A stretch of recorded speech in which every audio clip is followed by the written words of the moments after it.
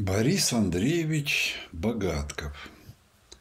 Ачинск, Новосибирск, 20 век.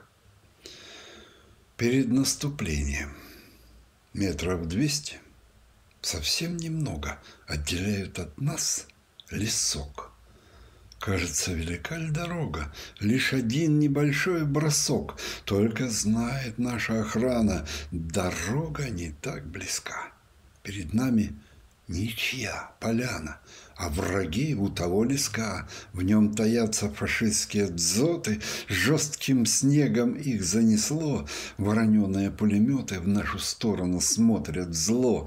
Магазины свинцом набиты, часовой не смыкает глаз. Страх тая стерегут бандиты степь, захваченную у нас. За врагами я — Парень русский, наблюдаю, гневно дыша. Палец твердо лежит на спуске безотказного ППШ. Впереди города пустые, нераспаханные поля. Тяжко знать, что моя Россия от того леска не моя.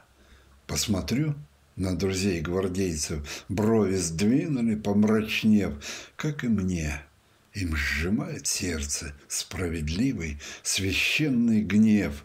Поклялись мы, что встанем снова на родимые рубежи, и в минуты битвы суровой нас, гвардейцев, не устрашит ливень пуль, сносящий пилотки и оживший немецкий дзот, только бы прозвучал короткий, долгожданный приказ. Вперед! Возвращение. Пара шагов от стены к окну. Немного больше в длину, ставшая привычной уже комнатка на втором этаже. В нее ты совсем недавно вошел, поставил в угол костыль, походный мешок опустил на стол, смахнул с подоконника пыль и присел, растворив окно. Открылся тебе забытый давно мир, вверху голубой простор, ниже зеленый двор, поодаль, где огород черемухи куст цветет. И вспомнил ты вид из другого жилья, разбитые блиндажи, задымленные поля, срезанной пулями ржи, плохую погоду — Солнечный день, когда, бросая густую тень, хищный юнкерс кружил.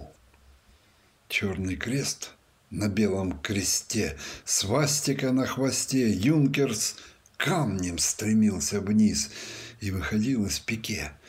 Авиабом пронзительный виск, грохот невдалеке.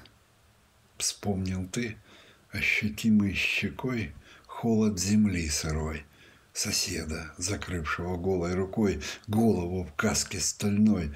Пота и пороха крепкий запах вспомнил ты, как небо закрыв, бесформенным зверем на огненных лапах вздыбился с ревом взрыв.